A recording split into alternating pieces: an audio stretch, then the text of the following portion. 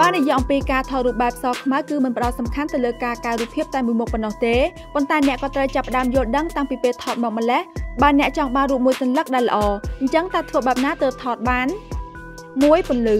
បាននិយាយអំពីការថតរូបពន្លឺគឺសំខាន់ណាស់ ហើយរូបសខ្មៅក៏ដូចគ្នាព្រោះប្រសិនរូបភាពរបស់អ្នកគ្មានពន្លឺជះចូលនោះប្រកាសជាមិនមានពណ៌សជាជាមិនខានហើយតាមរយៈពន្លឺនេះអ្នកក៏អាចច្នៃឲ្យមានជាស្រមោលឬជះចេញជារូបភាពផ្សេងៗតាមសិល្បៈធ្វើឲ្យរូបភាពរបស់អ្នកកាន់តែល្អមួយកម្រិតទៀតម៉ោងដែលល្អសម្រាប់ទាញយកពន្លឺធម្មជាតិនេះគឺពេលព្រឹកព្រលឹមនិងពេលថ្ងៃជិតរសៀល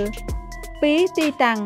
ព្យាយាមស្វែងរកទីតាំងណាដែលមានរាងជាអ្វីមួយអាចជាត្រីកោណការ៉េរង្វង់ឬក៏មានរាងជាខ្សែឆ្នូតជាដើមដែលទាំងអស់នេះសុទ្ធសឹងតែអាចបង្កើតរូបសខ្មៅដ៏អស្ចារ្យមួយឲ្យអ្នកដោយគ្រាន់តែដាក់ subject ចូលទៅតែសូមកុំភ្លេចក្បួន rule of third ដោយដាក់ subject នៅចំណុចប្រសពបើមិនដូច្នោះទេគុណភាពរូបភាពច្បាស់ជាថមថយចាក់ជាមិនខាន3មានមនុស្សកាន់តែល្អ